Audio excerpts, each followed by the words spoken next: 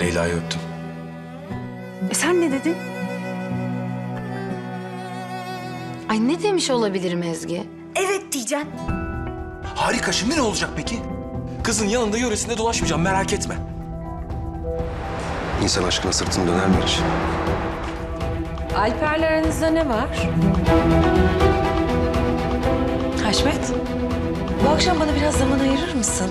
Sana mutlaka izletmek istediğim bir şey var.